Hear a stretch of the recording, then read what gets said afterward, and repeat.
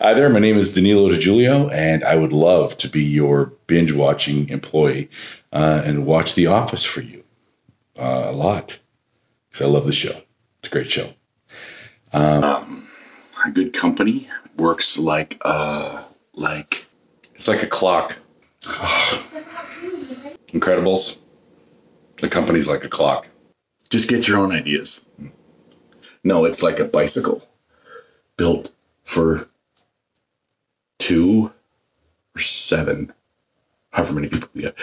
Um, but at the end of the day, um, the one thing I can say as the world's best boss is um, there's no business like paper business like no business I know.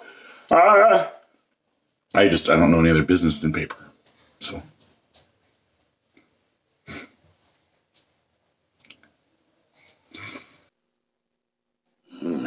nice.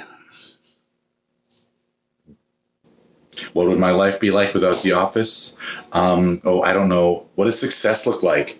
Um, I could get into textiles. I could be a lifeguard. Um, that's two. Farming beats bingo. I win. Losers.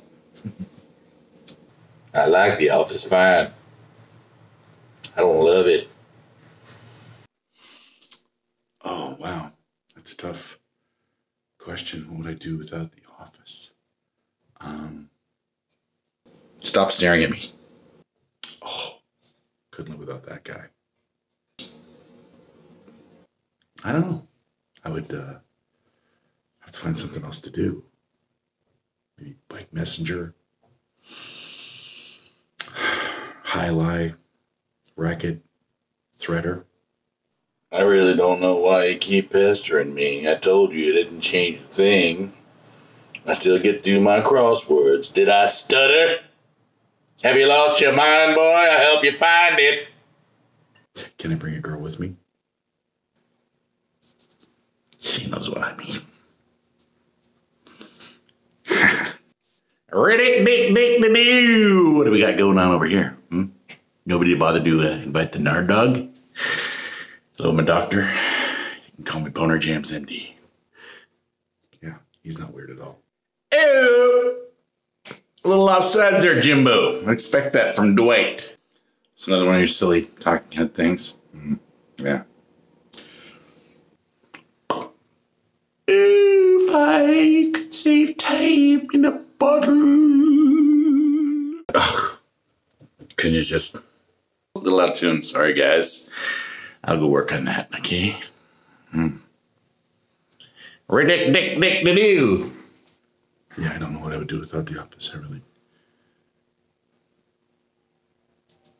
I don't know. It does finish off our days nicely. We come home and we like to throw the office on for three or four episodes before we go to bed at the end of the night. Um, just to like, it helps us relax. It's it's good funny. It's happy funny. I can't for the life of me think of any way to change who I am. I mean, still just just me. So, in summation, I'd like to say that yes, I do think I am the biggest fan in the world of The Office. Uh, these characters live inside me, in my heart, in my head. Love the show. Could I live without it? Maybe, but probably not.